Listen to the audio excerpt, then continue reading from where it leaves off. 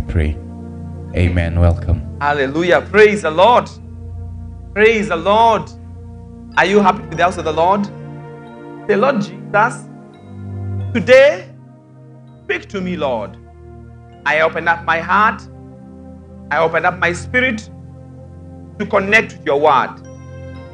Today, put in me a Rhema word that will sustain me, that will give me life and life in abundance.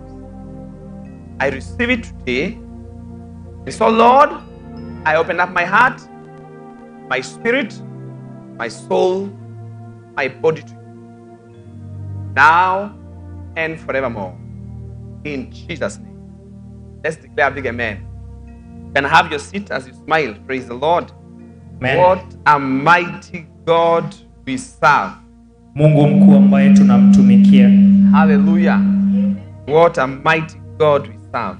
Mungu mkuu ambaye tunamtumikia. He's truly glorious. Yeye ni mkuu, He's truly mighty. yeye ni mkuu And He's gracious. ni mwenye neema. Hallelujah. Hallelujah. What a mighty God we serve. Mungu mkuu ambaye tunamtumikia. What a glorious God we serve. Mungu wa mwaminifu ambaye tunatumikia. Hallelujah. Lord. Bwana asifiwe. Now, um, this has been the month of transforming grace. Huu umekuwa mwezi wa neema ambayo inabadilisha. This has been the month of transforming grace. Huu umekuwa mwezi wa neema ambayo inabadilisha. And Pastor Ann took us through a number of series. Na mchungaji Pastan alituelekeza katika mfululizo huu. Praise the Lord. Bwana And. I want us to move it on. Praise the Lord. Ningependa tuendeleze siku ya leo. How many are saying, Lord, I receive my transforming grace? Ni wangapi wanasema Bwana, ninapokea neema yangu ya kunibadilisha? Haleluya, Haleluya. Now, I want just to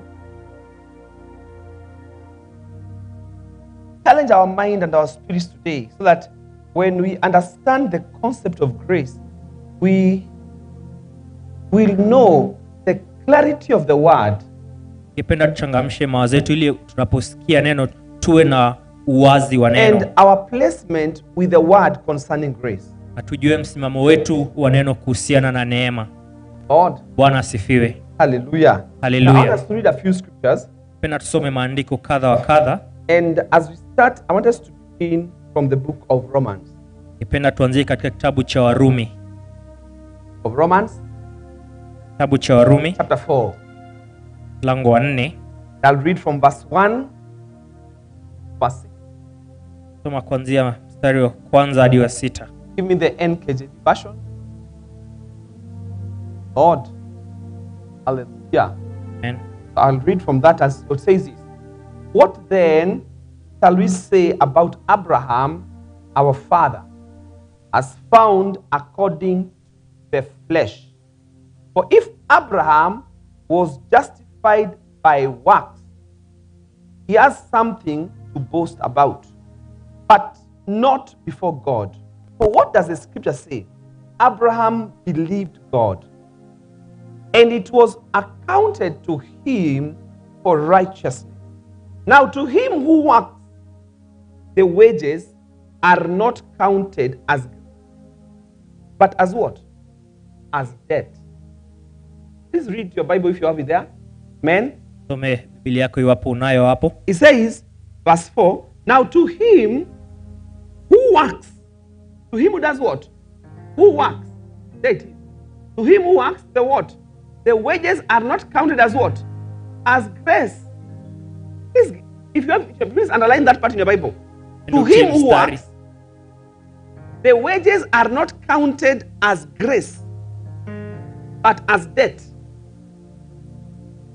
But to him who does not work, hallelujah. But to him who does not work, but do does what? Believes on who? On him who? Christ. Who justifies the ungodly. His faith is as what? Is accounted for what? For righteousness. Now let's look at verse 6. Just as David also describes the blessedness of the man to whom God does what? God imputes what? Righteousness apart from works. The Lord. And I want us to open up our eyes because I want to speak something that I want you to have your eyes opened. nipenda uwe, tuwe na macho yetu yafunguliwe Is the Lord. bwana we have been told that if it, you are working for it, elezwa iwapo unaifanyia kazi then it is wages basi ni mshahara. or debt. kutokana na jambo ambalo when you're not working for it, it is deemed as grace. lakini wakati ambapo hujafanyia kazi ni neema And it is only for those who do what? For those who believe on Him, Christ. na ni ya wale tu ambao wanamwamini Praise the Lord. Those who do what? Who believe on Him, Christ. And the Bible says that to them who believe on Him, Christ, it is Him who justifies. And then the faith of this person will be deemed as what? Righteous. Praise the Lord. Please just walk with me. Let's go to John. John 1. John. John 1. We'll come back to Romans at some point. Let, it together. In the beginning was what? In the beginning was what? And the word was with God. And the word was, let's move on, verse 2. He was in the beginning with God, verse 3. All things were made through him, and without him nothing was made that was made, verse 4. In him was what? Life, and the life was the light of men. Let's now jump to verse 14. Verse 14. Jump to verse 14. Hallelujah. And, and the Bible says what? And the word, and the word did what? And did what? Dwelt among us. And we beheld his glory. The glory as of the only begotten of the Father. Full of what? Look at this. We beheld what? His glory. If you want to sense God's glory, you must walk in under the grace. So it says, the word became flesh and dwelt among us, and we beheld his glory. The glory as of the only begotten of the Father, full of grace and truth. Now jump to verse 17. For the law was given through Moses, but grace and truth came through who?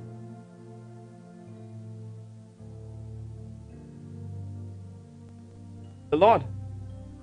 Now let's look at, at, at the book of First John 4. Verse 6. First John 4, verse 6. Hallelujah. First John 4.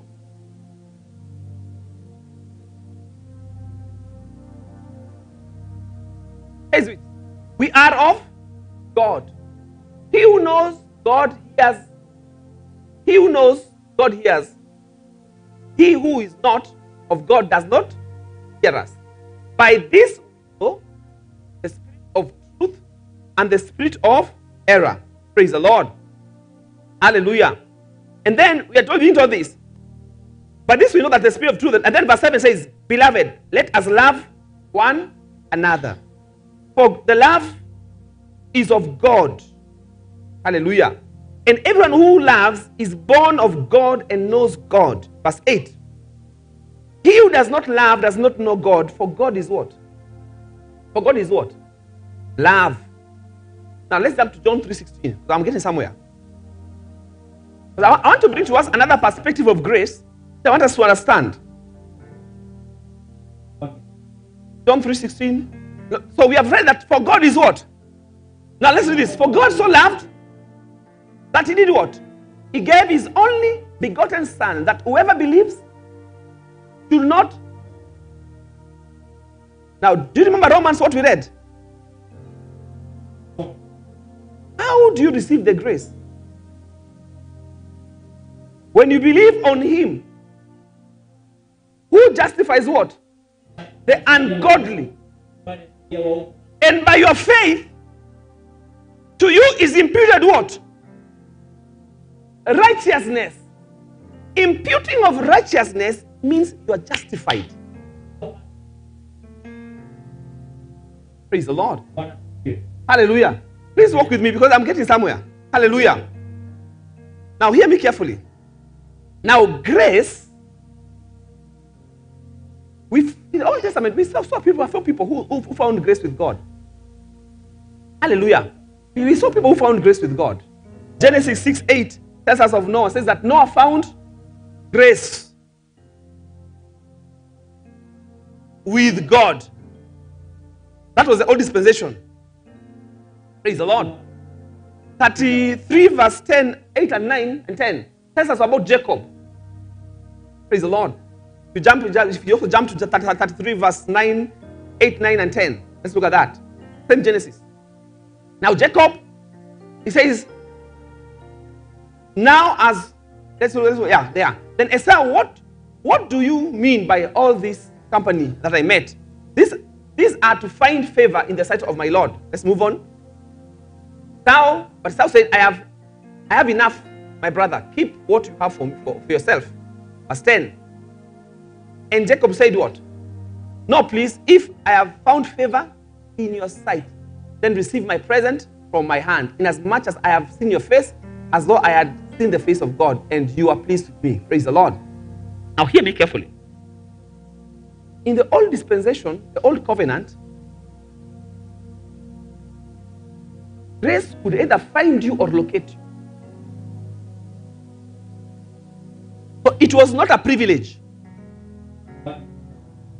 It was for those who are chosen by God. Praise the Lord. Grace was what? For those who are chosen, who are appointed. So if Noah found favor with the Lord and he was chosen by God for that purpose, he found the grace. So it will either find you or locate you. Praise the Lord. But in the new dispensation, grace has been released to everyone. Hello? Grace has been released to who? To everyone.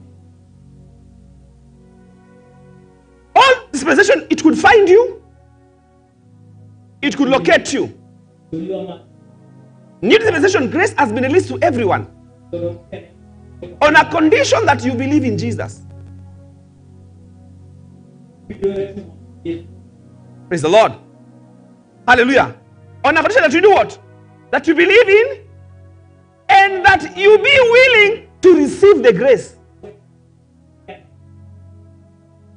Please walk with me, but I'm getting somewhere. Now, in the old dispensation, grace could either find you or it could locate you. Praise the Lord. And you had nothing to do with it. Now, in the new dispensation, grace is for everyone.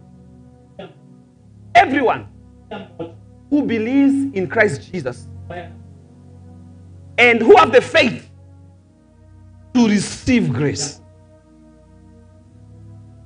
Please walk with me because I'm getting somewhere. Hallelujah.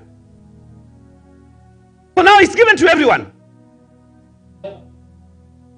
Everyone. As long as you believe in Jesus Christ and you have the faith to receive the grace. Now, uh, Romans 1 4, we see the apostle Paul saying this.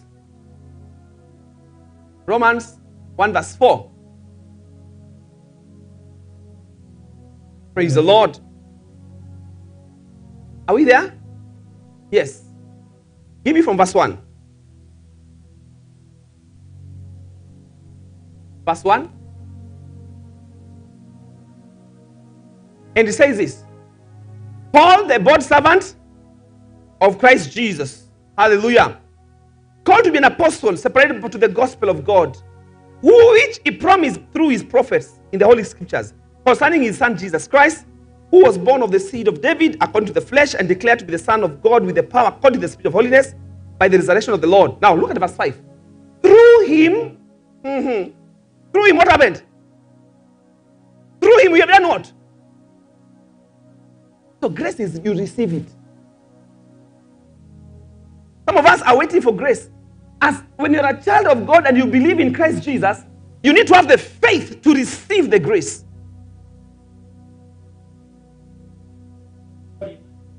So grace and faith work, they work together. Praise the Lord. You must have the faith to receive the grace. Now, hear me carefully now today. So, grace is God's love. Grace is God's love expressed through the gift of His Son, Jesus Christ. Grace is God's love expressed through the gift of His Son, Jesus Christ, to those who believe in Him, that transforms your insufficiency to His absolute sufficiency. Let's, let's, let's move slowly. Praise the Lord. So, grace is God's love expressed through the gift of His Son Jesus Christ to those who believe in Him that transforms your insufficiencies to His absolute sufficiency. Praise the Lord. Hallelujah. And why I brought this concept is because we need to understand that grace came with Christ Jesus. The Bible says, and the word became flesh, the, and the word dwelt among us, praise the Lord, and became flesh. Full of what? Full of grace and truth. Praise the Lord. Hallelujah. Moses gave us the law. He brought what? Grace and truth. So when you're looking at grace, because God Himself is the author of love. So grace is the love of God, which He expresses through the gift of His Son, Jesus Christ. And the question is to those who believe in Him. Then, then this grace now it will then, then it transforms your insufficiencies to His absolute sufficiency. Please, please, please, let, us pause there. Hallelujah. Because I want you to get it. So you can't understand grace unless you, the love of God is in you. Because God, out of for the release of grace, it was out of the love of God. The Bible says that He loved the world so much that He gave us His one and only Son, Jesus Christ. That whosoever believed in Him, whosoever believed in Him, that was the only condition. So, so it is this grace is God's love expressed through the gift of His Son Jesus Christ to those who believe Him. That transforms what? Your insufficiency to His absolute sufficiency. Hallelujah. Now, what are our insufficiencies? Number one, human effort. How many have ever tried to make something work? Hey, let's be truthful. How many have ever tried to make something work? There is no grace there. Hallelujah. You know, you try to, if you work, if you make it work, then what you deserve is wages, or, or, or, it, or, or, or, or it becomes a debt. But if it is grace, you no one works for it. You receive it in Christ Jesus when you believed Him. Praise the Lord. Have you ever tried doing something and then unaja- unajaribu inakataa kabisa na unaomba tu Mungu, lakini wewe unajaribu. Okay, now let me tell something. Praise the Lord. We are in Kenya. Tuko inchi ya kitu kidogo. Now, how many of you, you have gone to somewhere, government uh, offices, and you want something done? and you decide this thing has taken too long, then what do you do? You do that. Hey. I, I know now we will not, we will not I know nyinyi hamko hapa, ndio? Hao ni. They are not here. They are outside. They are not here, eh? And then you come to the man of God and say, Pastor, you know, I have been praying. Man of God, prophet, I've been praying. God has done it. Now ulitoa kitu. That is not grace. That was your work. That was your works. And God can only come in a circumstance where He has begun it. So with grace, God begins things. With grace, He finishes things. With your works, you begin things. With your works, you must sustain and try to finish it. And then you're asking God, God, where are you, Lord? Lord, I've prayed for too long. He's the Lord. Are you getting the concept? So, your insufficiencies, one of that is human effort. You are trying to make it work. And then you're asking for God's grace. Hallelujah. The insufficiency is sin. You are trying to fight sin. Yeah, I'll, I'll give you some, some tips. Praise the Lord. Because sometimes we struggle with sin, not because we, we do. When you have the understanding of the scripture, you will understand the grace of God that is upon you even to overcome sin. Praise the Lord. That is upon to do what? To overcome sin. So that becomes our insufficiency. So we are trying to work out, Lord, this week, this week, I'm going to be a good, a good man. I will not watch pornography. I will not go and watch funny, funny things. I will not do the evil, evil all over. You're trying to work it out. Grace is saying, I've given you my son Jesus Christ. Out of my love, says the Father. And because you have believed in him, I have imputed to you. Yes. I have justified you. So you don't need to do any other work. You need us to walk under the grace. And sin cannot follow you. Praise the Lord. So our insufficiencies is we have human effort, we have sin. Then we have rules. Do we have rules? We have rules, eh? We give rules. Parents, we give rules to our children. Those are our own works. So if you want things to work with your rules, it will not work.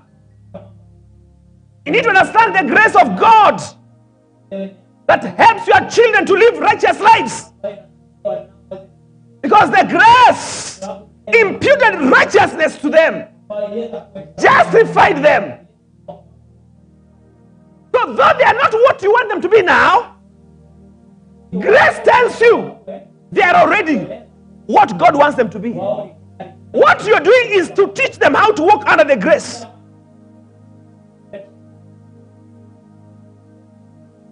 Praise the Lord.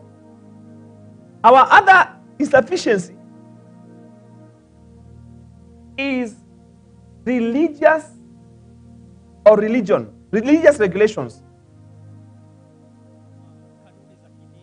This is how we do things. Have you ever been gone to somewhere and you're like, this is how we do it? Those are our insufficiencies. That's how we do it.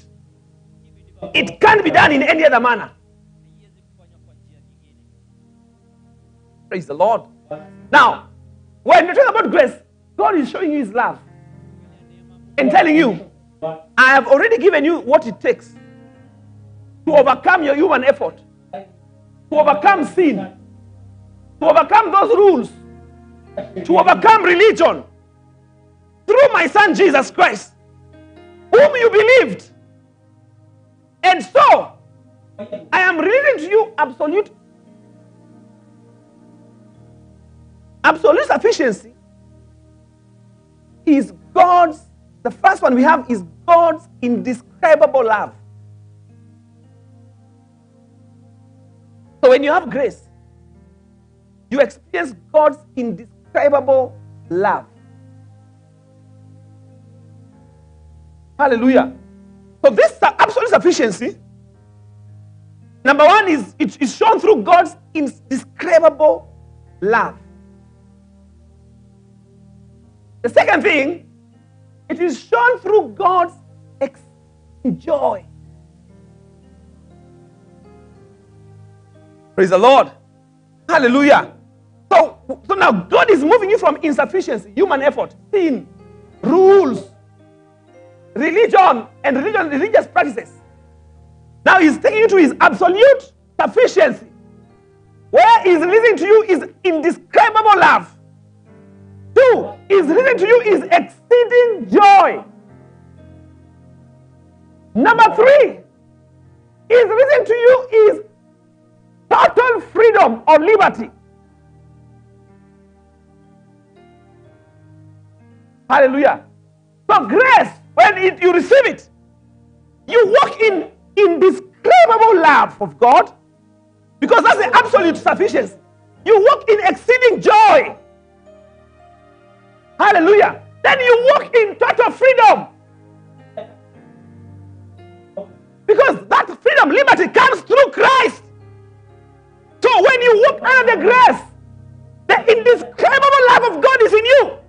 The exceeding joy of God is in you. The total freedom of God is in you. Number four, the absolute sufficiency of God is that He releases to you. Hallelujah. Union. So that you experience intimacy with Him. Hallelujah. He says to you, union that you experience intimacy with Him. Hallelujah. Hallelujah. Then the fifth one that He releases you as absolute sufficiency under the grace. He releases you is undisputable power.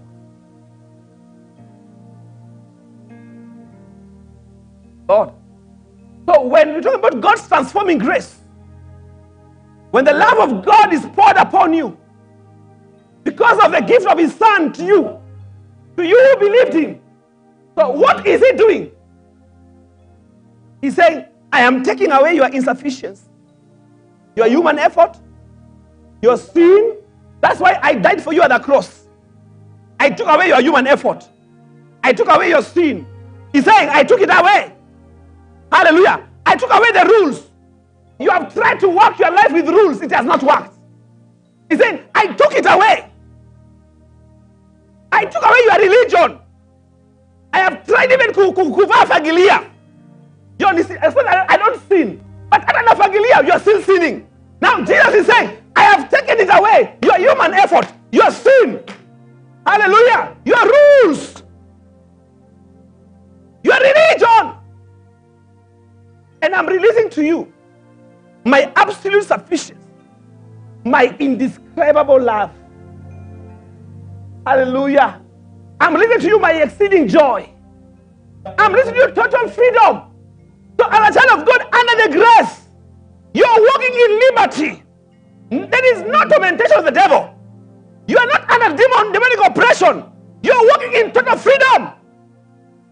Under the grace. He says, I'm bringing you to, into a place of intimacy. Under the grace.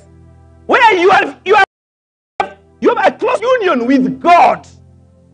Then he says, under the grace, I release to you my undisputable power. That's why, why he says, greater is he that is in you than he that is in the world. Hallelujah. Why? Because this grace that was released has given you what? Undiscoverable power.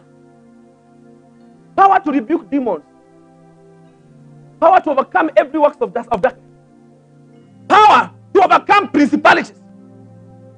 Power to overcome every powers and spiritual hosts of the, in the heavenly in the wicked wicked spiritual hosts in the, in the heavenly places and every rulers of the, of the world you are given the power to overcome under the grace hello hello that's why if you're trying to make it work you're wasting time he's saying my grace is given to you so that i can turn your insufficiency and make it my absolute sufficiency. If, if, you look at, if look at the Bible, there's a verse, there's a verse that we have. First Corinthians, uh, no, Second Corinthians 9. Second Corinthians 9, verse 8. Second Corinthians 9, verse 8. Let me read it for you. Second Corinthians 9, verse 8. Look at this. Look at this. Look at this. Woo! Woo-hoo. Please read it out. He says what? And God is what?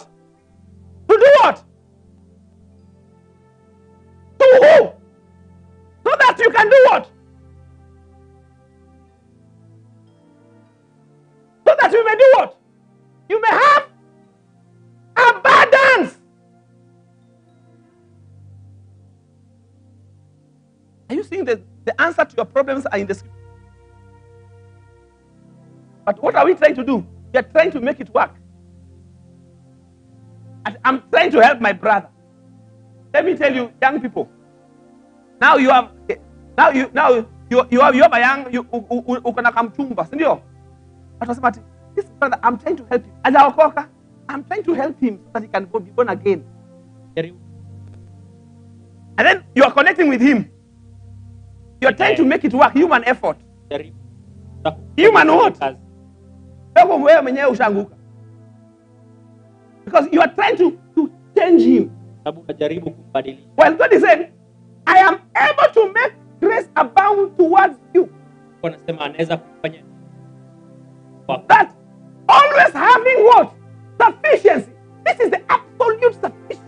God. So that you realize you can't save him, kuokoa even you. hata wewe By grace you are saved. kwa neema am- And so even him, hata yeye by grace he is saved. kwa neema You can only guide him to Christ. Ati, I'm, I'm putting effort. I'm working it out. Ataokoka tu. I'm working it out. You keep working it out. God is saying, if you want to walk under this grace, your insufficiency must turn sufficient. So that you can be able to enjoy abundance in every good work that you're doing.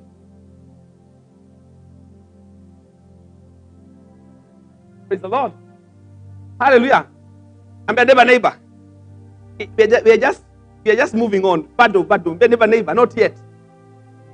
Hallelujah. In- Inaingia, uliza neighbor, inaingia, inadonjo. Inadonjo. Hallelujah. And now that is why, as Christians, we come to a place where we feel hopeless. And you're saying, God, where are you? No. There's something my wife and I have been doing, and I was telling my wife that that, that, thing has taken time to happen. So I was telling her, we are not going to do any human effort. If God is God, He's a God of sufficiency. So His absolute sufficiency shall be upon us. So if you are, you are saying you are trying to make it to, to, to do it, it's not working, leave it to God. Some of us are fighting until you do wrong things so that you are trying to help God. As the Bible says, that God who helps those who help themselves, who, where is he? He's not there. Kidogo. Let me tell you, grace is saying, I am turning your insufficiency to absolute sufficiency. So, you, have, you will not work for it. If you believe in me, I release it. Because I am the giver of all sufficiency. In all things. Look at this.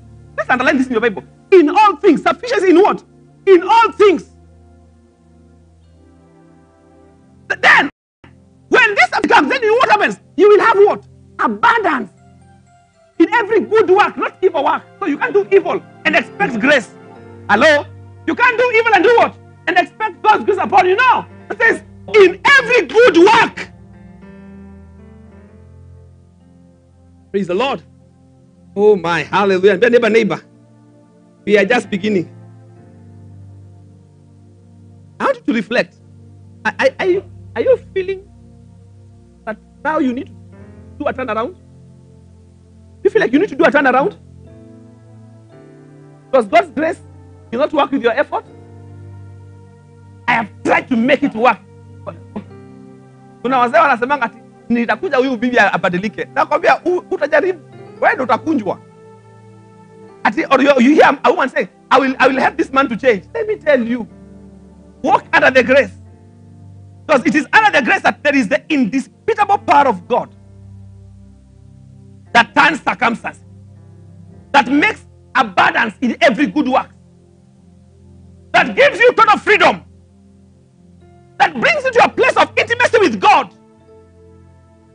And I will teach you today how to the secrets of grace. I'll, tell, I'll remember before I finish. Remind me. I'll teach something of the secrets of grace. How to, to the secrets of getting into the grace. That you sustain the grace. Praise the Lord. Hallelujah. Now, can I show you something in the Bible? I don't know whether we have time, but we might, I don't know that. Let's read a few. Let's look at First Kings. First Kings, uh, chapter 29. First Kings, chapter, chapter 11. Let's, let's go to chapter 11 first. First Kings, chapter 11. First Kings, chapter 11. I'm, I'm, I might not read everything. I will, I'll help you just to understand something. Let's go to verse 29. Really Start from 25 so that you can get some context.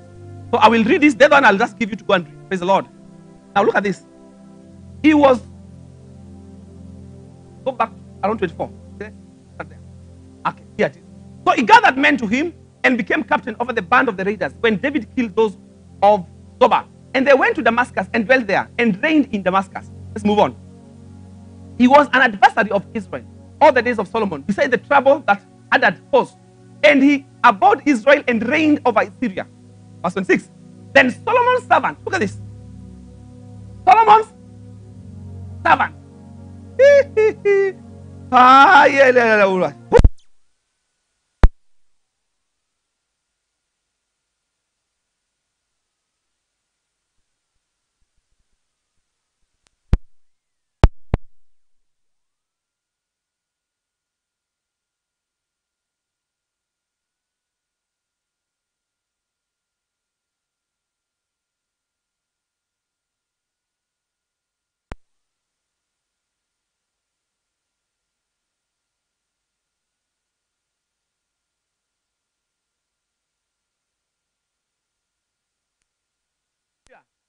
Then he says, and this is what caused him to rebel against the king.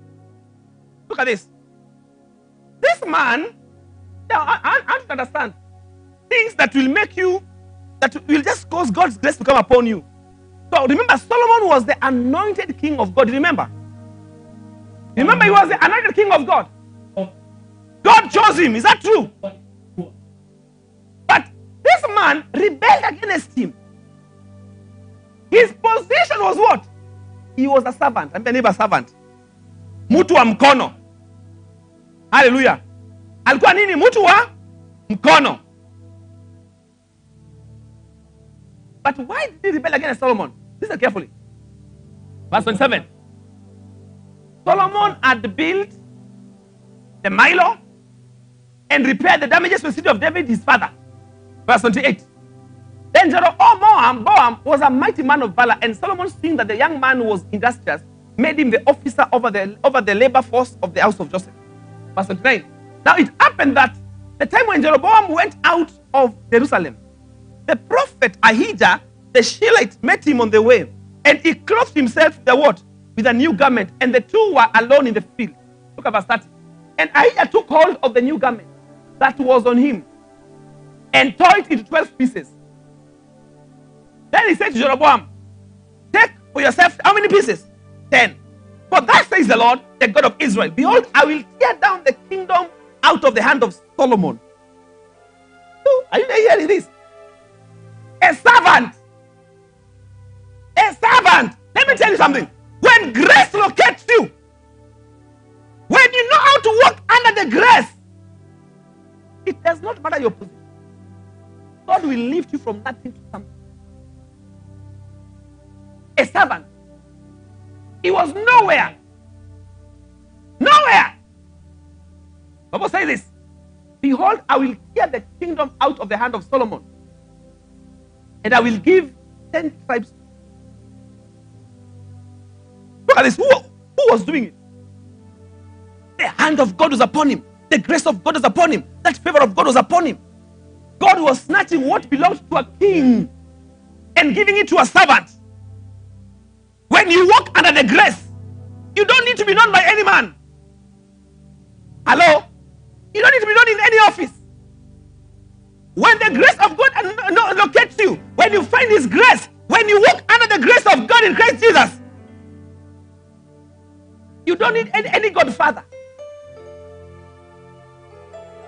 You don't even need to be known by the pastor. God Himself will become your sufficient, absolute sufficient in all things. And it will cause your hands to experience abundance in every good work you do. You do your job, you get favor. You wash utensils, you get favor. You wash the house, you have favor. You wash church, you have favor. Because you have learned. Because when you have learned how to walk under the grace. Now, hear me carefully. For God to fulfill this word, so Solomon, after here, um, let me just paraphrase because we don't have time to read everything. After here, Solomon heard what the prophet said. But then, you know, some of us, do you know that some of us here, praise the Lord, some of us here, we, when we hear something good prophesied to someone, we like killing it. Look, when people hear something good spoken about someone, you want to do what? You want to kill it. Even Solomon wanted to kill what God had declared upon, upon Jeroboam. He tried to kill it. It forced Jeroboam to go run to Egypt, to King Ashik, and stay there for some time. Let me tell you something today, and I want to tell you something today. When you walk under the grace of God, God will give you wisdom to know how to walk safe, to know how eh, wisdom for, for your protection, so that even the powers that may be cannot destroy you. Hello? If Jeroboam stayed with Solomon, he would be killed. Hello? Now, the grace of God, that when you walk under this grace, it gives you the wisdom to know how to escape every fiery darts of the enemy. If Jeroboam stayed there, I said, God's grace is upon me. He has said, I will take from, from Solomon 10 kingdoms, 10 tribes. Solomon angemaliza. So the grace God gives you wisdom to know how to escape every fiery that's of the enemy. And the wisdom here was this move away to Egypt until the time that Solomon died. Praise the Lord. I'm a neighbor, neighbor. Though you walk under the grace, God's grace will give you wisdom to escape the plans of darkness. Hallelujah. Na pia ukipatiwa hiyo wisdom if Jeroboam stayed with Solomon he would have died. Because, remember God spoke, is that true? But if he stayed with Solomon, who would have died? He would have died. Because Solomon's plan was to kill him. You hebu sikia. Yaani mtu anakwambia ati huyu huyu huyu mfanyikazi wako ndio anaenda kuchukua kingdom kumi na wewe unabaki na moja. Na ila hii moja that, that, that the Lord gave him. no, this one kingdom, it was not because of Solomon. It was because of he said, because of my covenant that I had with you, David. So God left him Judah. And that was not because of Solomon, but it was because of the covenant God made with the father, his father David.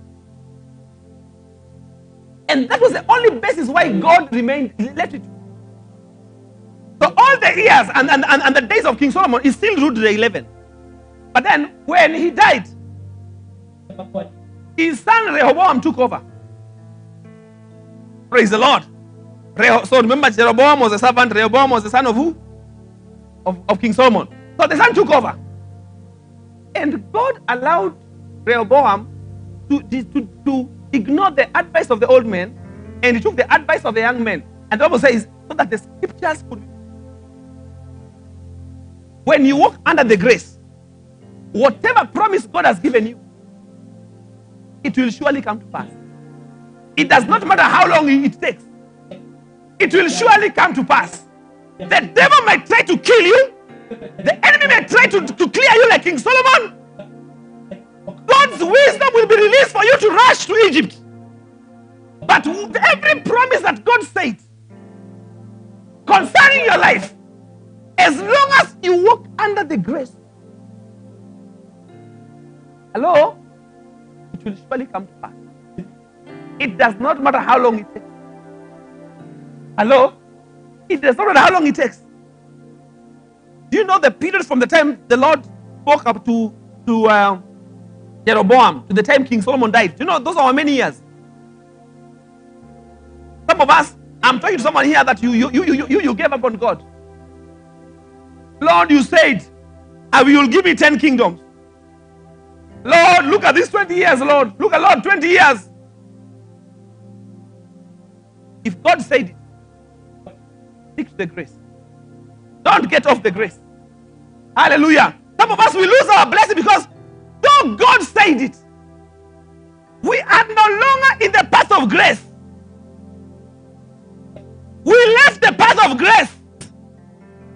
And no wonder we can't get what was declared. The Bible says, Let every man be called a liar. But God is truth, is a God of truth. If He said it, walk under the grace. Though it may tarry, it will surely come to pass. It will surely come to pass. It will surely come to pass. It will surely come to pass. Hello? Because when God says it, though Solomon may be alive, a time is coming, he must die.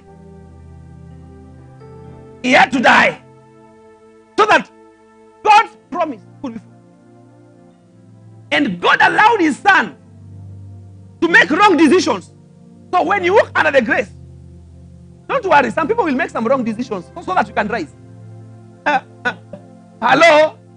When you walk under the grace, some people will make some wrong decisions so that you you you can rise. Rehoboam had to make some mistakes. Ignore the advice of the old man and take the advice of the young man. So that what God promised Jeroboam could be done. And you know what?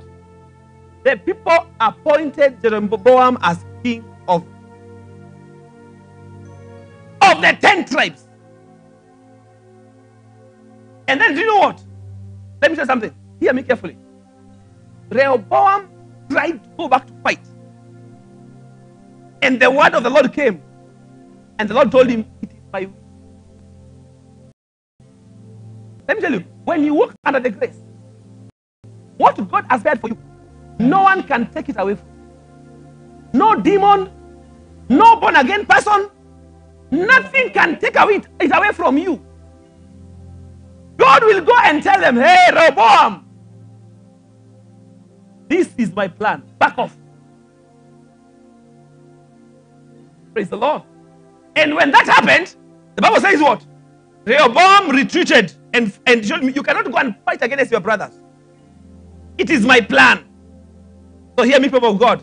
Under this grace, transforming grace, some of you will be transformed from servants to kings. Hello? You'll be transformed from servants to kings. So don't worry about your state now. Don't worry where you are now. God will transform you from a mere servant of the king to a king. Hear me carefully today. Well, the moment God raises you under the grace, hear me carefully. Even your sustenance, when success has come, must be under the grace. Hear me carefully.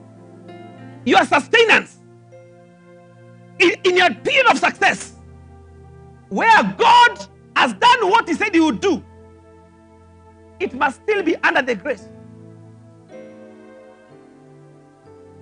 Praise the Lord. Hello, hear me carefully. Even when God has done all that that He did, He did for Jeroboam, at some point, Jeroboam forgot that it was the grace of God upon him. And if you look in the Bible, Second Kings 12, Second Kings 12, Second Kings 12, verse 26 and 28. Second, Second Kings 12, verse 26 and 28. Praise the Lord. Second Kings 12.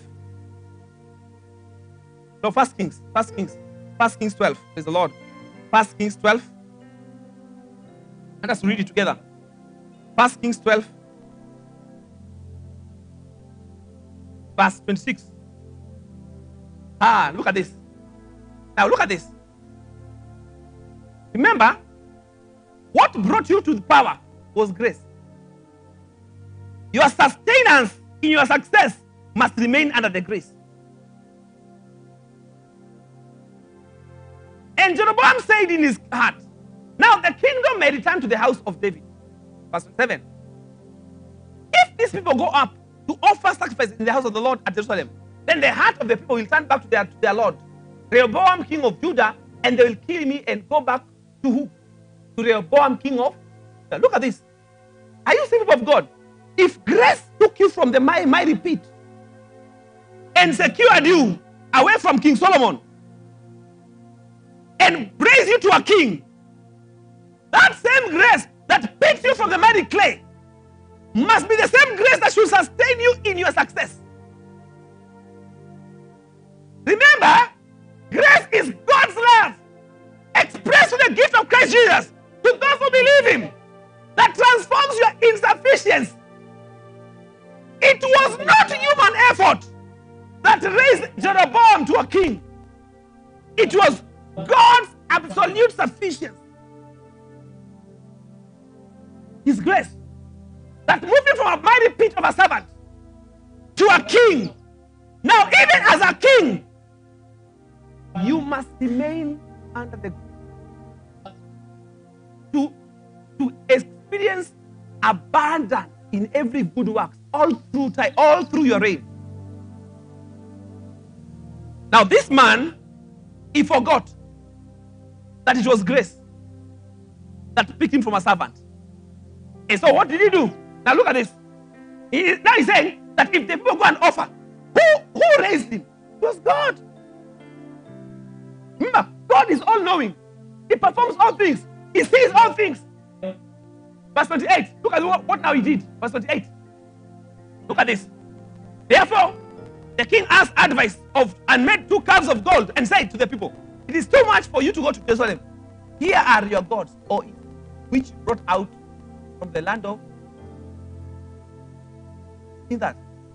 So while he was in Egypt, what was he learning? Are you seeing that? Be cautious, even as you are waiting on God, of the things that you learn. Hello? Ukiwa Egypt, remain. But don't walk away with the traditions of the Egyptians. He picked this from the Egyptians. He picked this from the Egyptians. And then he forgot that it was the grace of God that picked him from a servant to a king. And so here, instead of remaining under the grace, he went to other gods. And this was the part of the loss. If grace picked you from a miry pit and grace raised you up, then the same grace will sustain you to the final end. One of the greatest of grace. One of the greatest enemy to, to, to grace is pride. Hallelujah. Pride leads you out of grace. Because it looks human effort. I am the one who has been king. Don't you see I was a servant? And now I am king. Who are you? Who do you think you are? I am unbwogable. I am. Uh, where's Emma too? Where's Emma too? Where can I I am unbwogable, unchangeable. Pride is the greatest deterrent to grace. It leads you out of grace and takes you to your insufficiency. While God is saying, when all grace abounds, I have given you, I, and I am always giving you sufficiency in all things. Hello? So that whatever you do with your works, in your hands, every good works experiences abundance. People of God, you know, let me tell you. Maybe I told you I'll teach you the word. That ukiinuliwa ujue sio wewe. It's the grace of God. Praise the Lord. Let's look at James 4 6. James 4 6. Hallelujah. Oh my, my. Hallelujah. He gives what? Let's read. He does what? He gives more grace. Who gives more grace? Therefore, he says, God does what? If God lifted you in grace, remain under the grace humble. As I've told you, the greatest deterrent to grace is pride. Now, hear me carefully. The greatest propeller to faith is to, to, to, to grace is faith.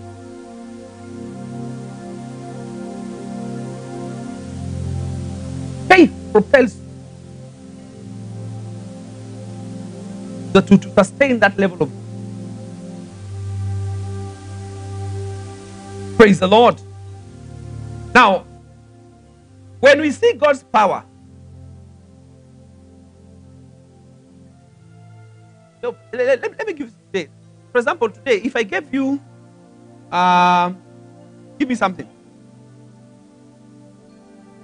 Oh, the phone.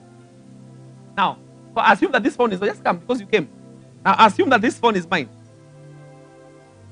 Okay? It's mine. Okay? This is bad.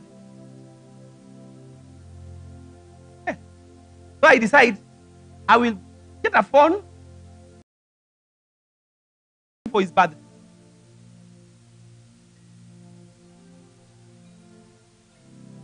He can choose to receive it as he has. That's true. From there, whatever he does with the phone, not under my control, it's under him. That's true. Now God is saying, I've given you grace. You didn't, you don't deserve it. Hello? You have not worked for it. Now, once that grace is what you do with it?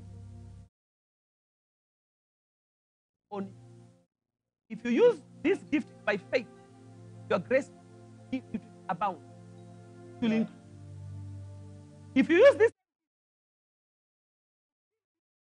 to plan evil, remember the abundance is not on evil work, it's on good work. Are you getting that? Now, second scenario. This is birthday. I decided to give him a gift. then he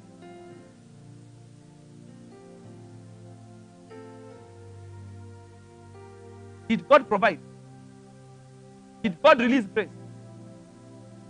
So how what makes him not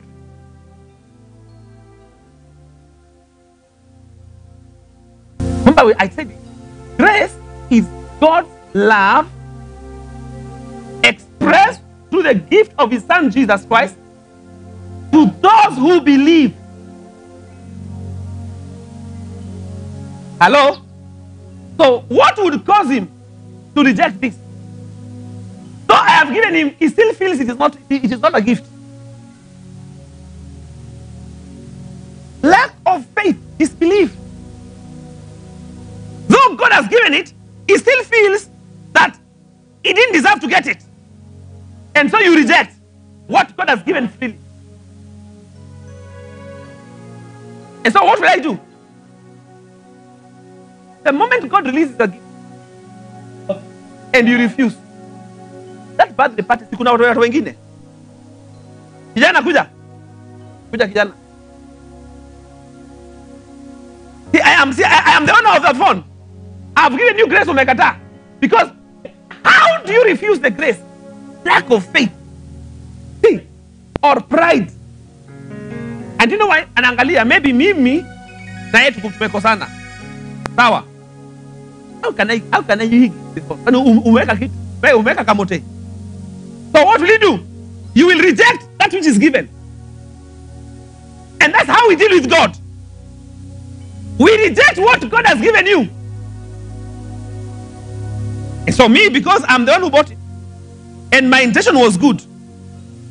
You who did not deserve praying, I will the Lord will choose choose you and appoint you and tell you take.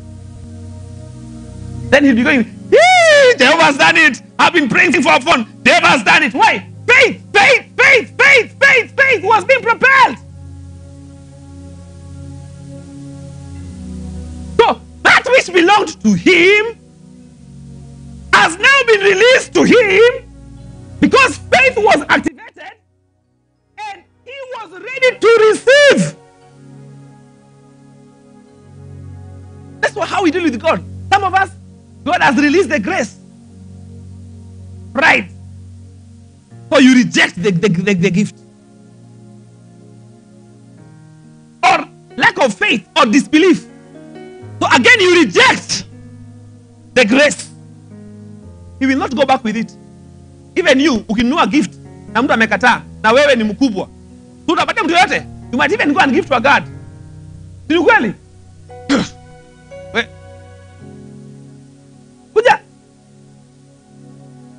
Pia amekataa.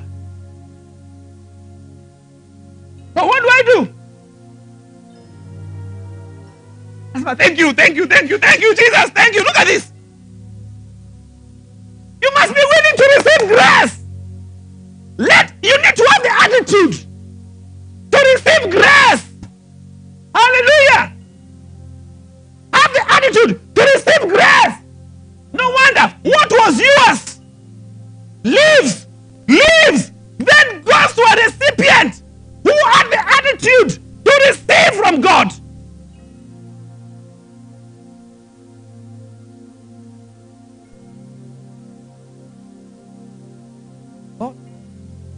Understanding grace?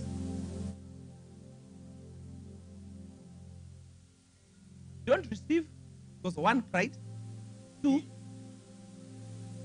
unbelief, and you lack the faith to receive it. Because you must receive grace. Some of you, God forgave you your sins. Let me show you something. Don't, don't- don't go away. Let me show you something. Some of us, God, God forgave you your sins. Me show you Ephesians 1 7. Please get me because I want to wrap. I know time, time is not on my side. Oh, but I promised you some grace. Uh, You'll allow me some few minutes. I, I close on that part of the secrets. Okay. Hmm. Please read this one. In Him, redemption through the forgiveness. Now, carefully. carefully. So, what, according to the riches of His grace, what have you received? redemption through. So you who are unclean, the moment you come to Christ Jesus, though you are a sinner, no, he says, that Second Corinthians 5 17 or 22. He says that you are now a new, a new man. Remember? Now look at look, look, look at this. Grace is telling you this. I have redeemed you with my blood. He is saying, I have redeemed you by my, by my blood. Don't feel condemned. He whom the Son sets free is free indeed and freely liberated from the curse of the law. So the Bible says. I'm looking for that, that verse. I can I can see it in my head. It be either 1 6 Romans somewhere. Says that you are no longer under the law, but now you are under what? Grace. Is it 4 6 4 16 somewhere there? Romans 4 6 somewhere. Just, just look for it. It says you are no longer under what? Under the law, but you are now under what? Grace. So hear me carefully. You could be living a filthy life, but the moment you come to Christ Jesus, He says, I have redeemed you by my blood.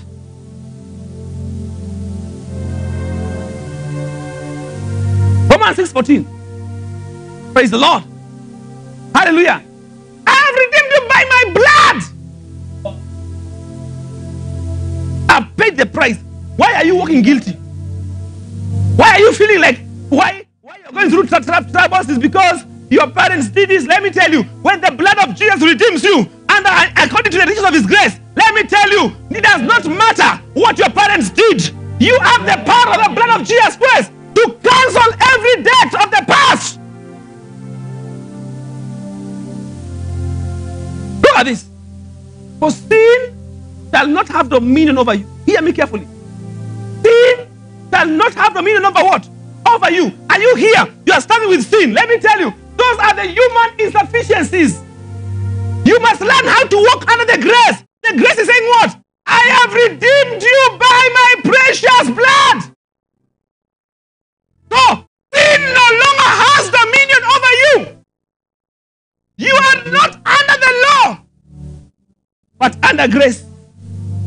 Absolute sufficiency. Indescribable love. Hello? Exceeding joy. Hello? You are no longer under, eh, eh, under, under, under sin dominion. You are experiencing his in, in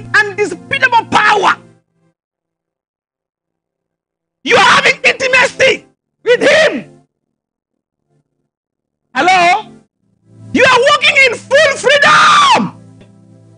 What happened to your parents? They died of a disease. Now I think I was, who told you you're going to die? You're not dying. You're saying you have been redeemed by the blood according to the riches of grace. Grace has been raised for you. That under the blood of Jesus Christ, you are redeemed by the blood. Total freedom. Hello? Freedom. So who are you to say? I, am this disease, my parents. Well, let me tell you. When you're redeemed by the blood, sin no longer has dominion over you. The curse of the law no longer has dominion over you. You can stand under the grace and declare in the name of Jesus Christ, I am redeemed by the blood of the Lamb. And because of the redemption, am no longer a slave. I am not a slave to sin, not a slave to diseases, not a, a slave to the, the- to the things my parents did. I break the cycle. I break the yoke. I break the trends. And from me now, the blood of the Lamb, I am not a slave to the past. I am a slave to righteousness. It was imputed. Hey, it was imputed. I am justified under the grace. Hii maneno so we are being told let's go back to, to ephesians 1 7 so by the redemption of the blood you are no longer under what? The law. So when you walk under the grace i could not say much to you hakuna kusema tu wazazi wangu huyu alikufa nini? Let me tell you you will live many, many years to exalt you will live many years to exalt god. Why? Because you are now having all sufficiency in all things. You are now walking in abundance of every good work. That's why, that's why you need to understand the word of God. I- I- Are you seeing why you need to understand the word of God? Because when you know the word of God, some things will not come. Let me tell you. Let me tell you. me- me- When I sleep, I sleep. Yes. Unasema hata mwizi utakuja. I am under royalty. The King of Kings is my Lord. So way better. You can't sleep. You are disturbed. You are always worried.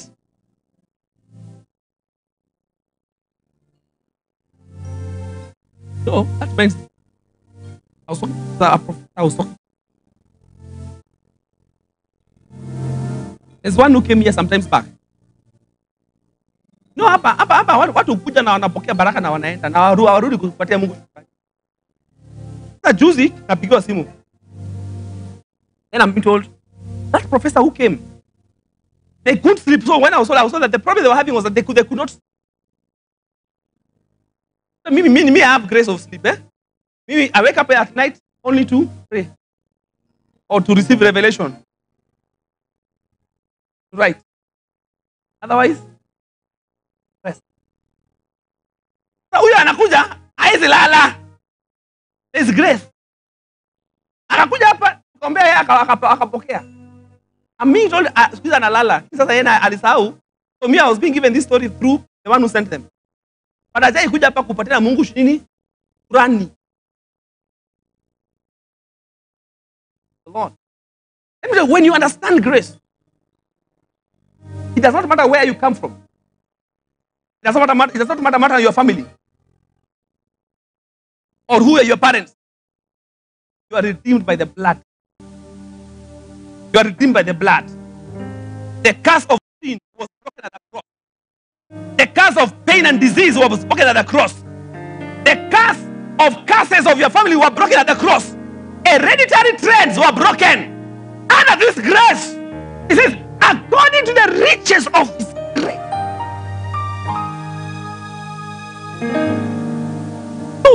He says, you are forgiven of what? Of your sins. Some of us we are living in, in our past sins. Oh God, you know, I, I I I I sinned against you some years. Lord, could I be suffering now? Because let me tell you, people of God, this grace has been it was released to you, it has removed your insufficiency. Stop thinking about your past sins. Now, when anything happens, you are thinking, oh, oh, is this because of my past sins? Wait, wait, hear the word of God. The grace that has been released forgave all.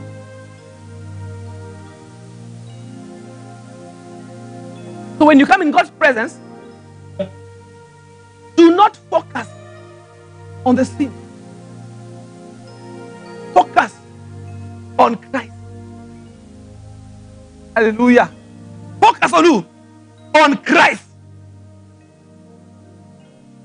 Oh. I'm speaking to someone here. Don't live under the torment of the past. Katika sahau. Because under the grace, your insufficiency was made absolute sufficiency. And I said what? Part of absolute sufficiency is what? Total freedom. You are free. You are free. The devil to speak to your life.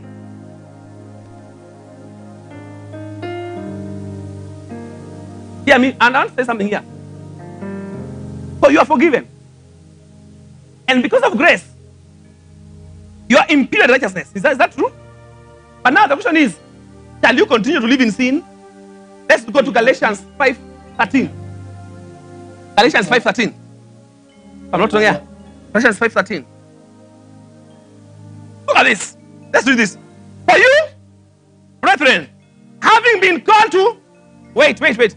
What gave you liberty? Grace. Hello? What gave you liberty? Grace. Only do not use that grace, liberty, as a what? As an opportunity for what? For the flesh. But through. What does that tell you?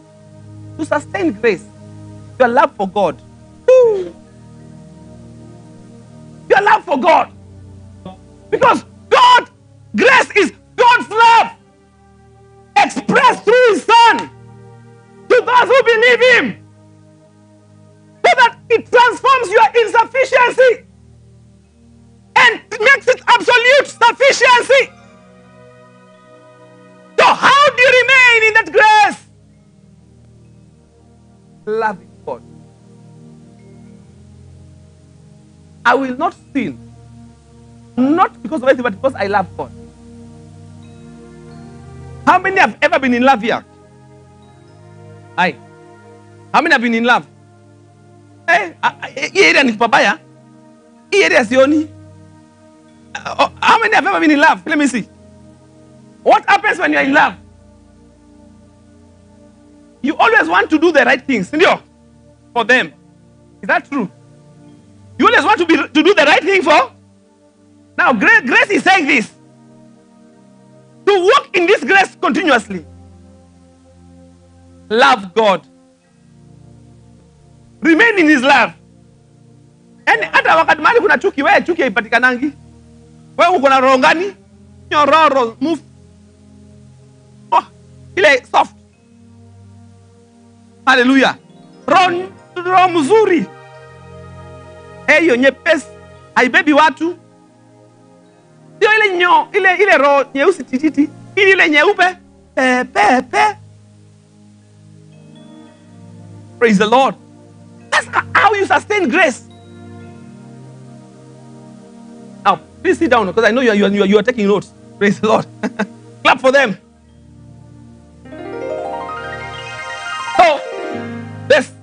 Number one to sustain grace loving.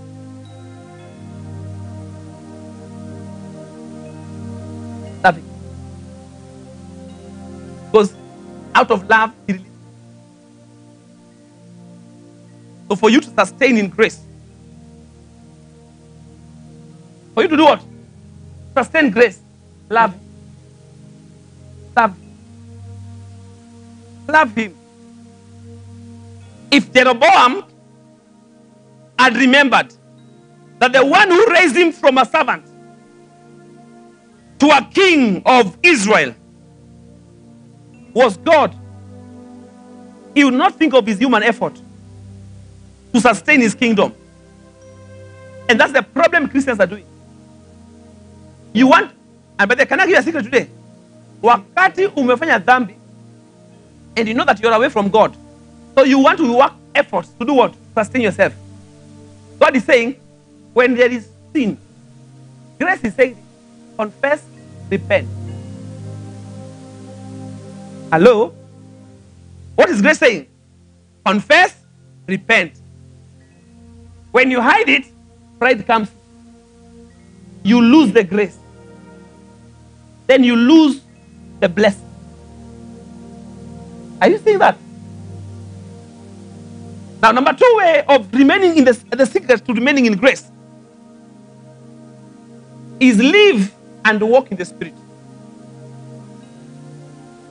Live and walk in the spirit. I'll give you because I don't have time. Let me give you some verses. Can I go and read later? Galatians 5 5. Galatians 5 5. Also, you can read Galatians 5 to 26. Look at this. For through what? Faith, through the Spirit, eagerly waits for the what? The hope of righteousness by faith. Also, you can also read Colossians 3 5 10. So if you are to, there's a verse I'm in Romans where it says, no, no, no, no, not in Romans, Galatians. Give me 16, Galatians 16. Let me get it for you, of God. I want to show you something. And, and maybe I know, I know, I know I don't have time. Praise the Lord. Let, allow me to, wrap this. Yes, and let me Galatians. Galatians 5. I want to show you something. Now look at this. Look at this. Verse 16. Okay, walk in the spirit, and you shall not do what? I say that. So if you walk in the the flesh will not come. Look at verse 24. I want to, I wish this where we, were, we should be having spirit. So let so in your Bible, mark that one. Now let's go to verse 24. Verse 24 says this. And those who are Christ have crucified the flesh with its passions and desire. So, how would you achieve that?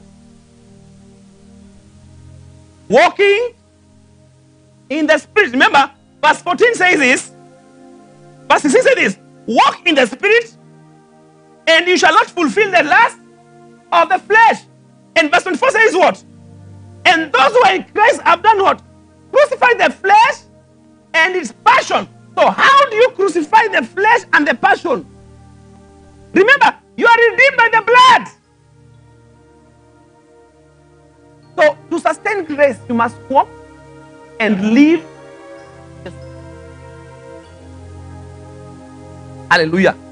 You must walk and live in the spirit. Number three, to walk in grace, you must continue in Christ. Who is the author of grace? Who is the author of grace? Christ. So if you are to continue in grace,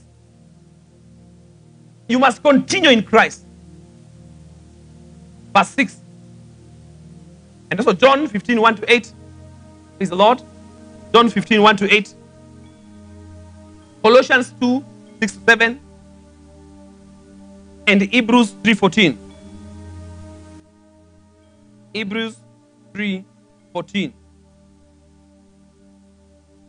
Look at this, verse 14 of, of Hebrews 3. For we have, we have become partakers of Christ if we hold the beginning of our confidence steadfast then. Look at this, up to the end. Christ up to where? I mean, never, never Christ to the up to the end. I mean, never, never Christ up to the end. If you die, you die in Christ. If you live, you wait for his second coming in Christ. The Lord. Now, the other way, secret of remaining in grace continuing in faith. And I'm finishing here. I think I will. I- still have one more Sunday. Praise the Lord. I, I thank God that Pastor Ann set for us a very good pace. Amen. Praise the Lord. So if you began with grace, grace up to the end.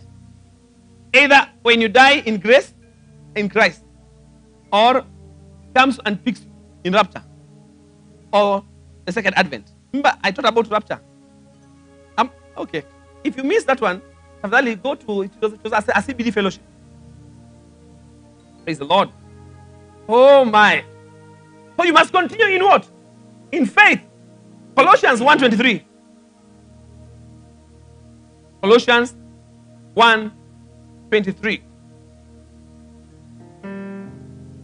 If indeed, look at this. If indeed you continue in the faith, grounded and steadfast, and are not moved away from the hope of the gospel you had, which was preached to every creature, under heaven of which I, Paul, came away. Finally, number five, the secret to continue in grace. Now, this is the hardest. Ile inakuwa sana.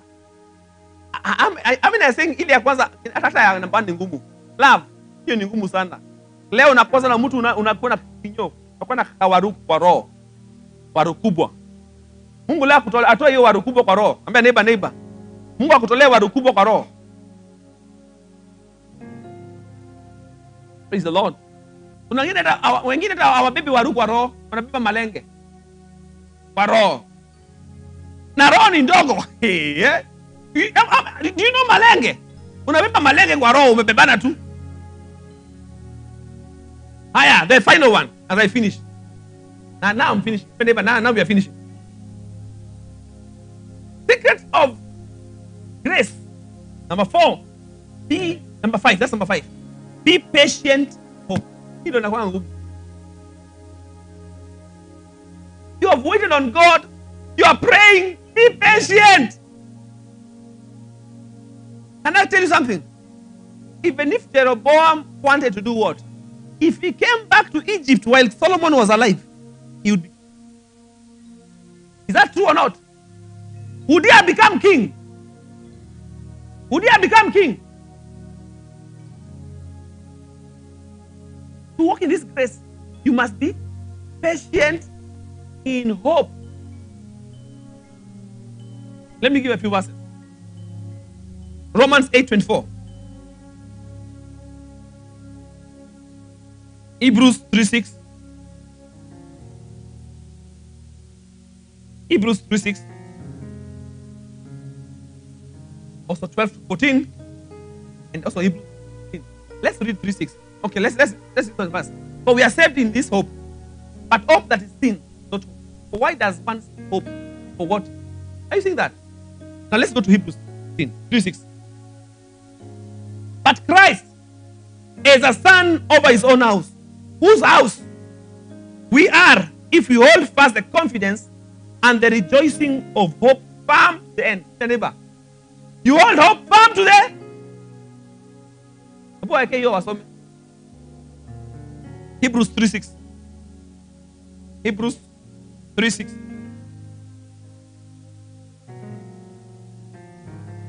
Three six.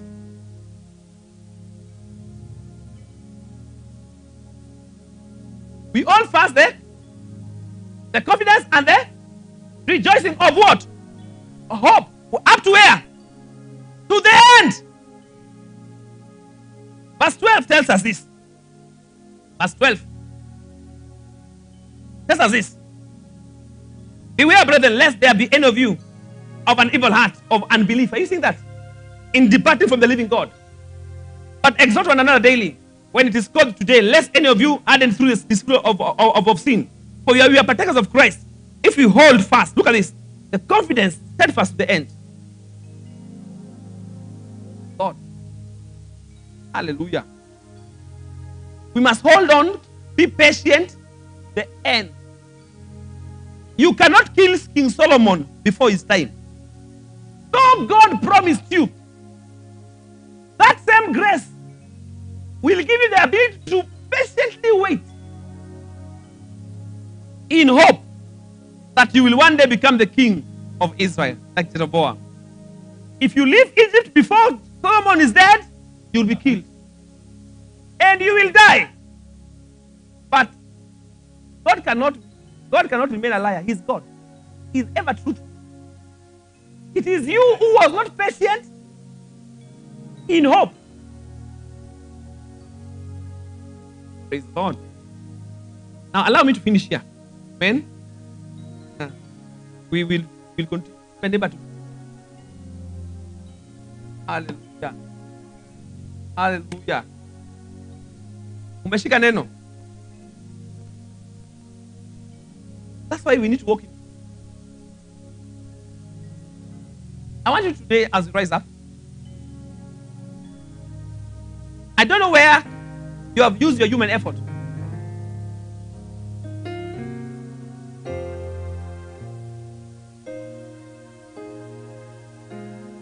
Or could it be seen that is holding your life? Could it be rules? Or you are just basically someone who practices religion, insufficiency. And God is saying this today. I want to release to you my sufficiency, my indescribable love, my exceeding joy, my union and intimacy.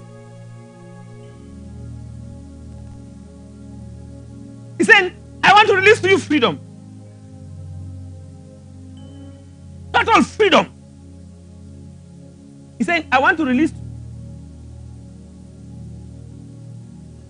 the unbeatable power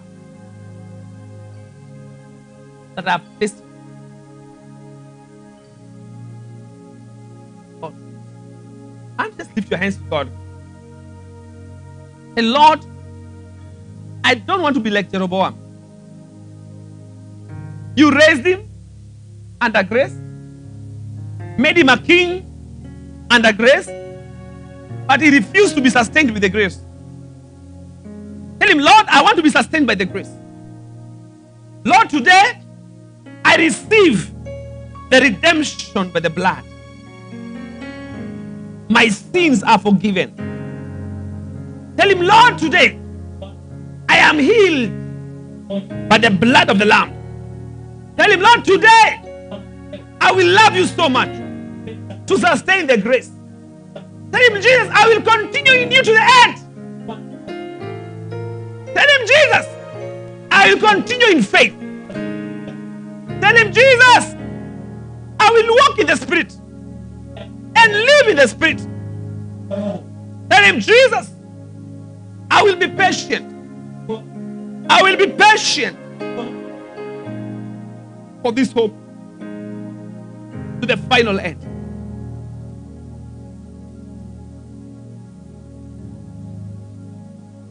May the God of all sufficiency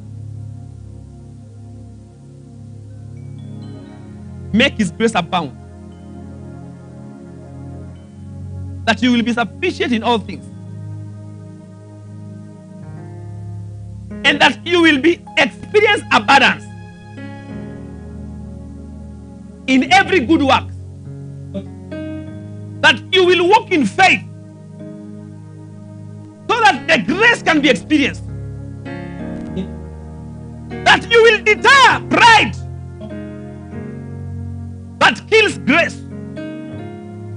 That you will stand firm. That you will not work out your things with your own strength. Nor continue to walk in sin. You will walk in the liberty that God has given you. And so today, in the name of Jesus Christ, I speak upon you right now. From the top of your head to the bottom of your feet, may the grace abound. May it abound upon your life. Today, I declare in the name of Jesus that you're going to move from a servant to a king. And you'll be sustained as a king to the final end. By this grace, I declare today what has been impossible shall be possible in the mighty name of Jesus Christ. Grace has released to you imputed righteousness.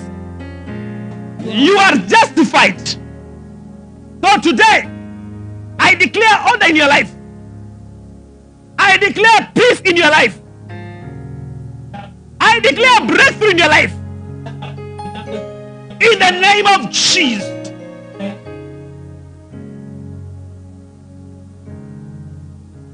May that favor locate you now. May that favor find you right now. May you walk under that grace in the name of Jesus Christ. May you manifest under this grace. I declare today no more torment of the devil, no more tormentation of the devil. Your past is wiped by the blood of the Lamb. Let the grace abound upon your family, upon your children, your marriage, your career, your business, in the name of Jesus.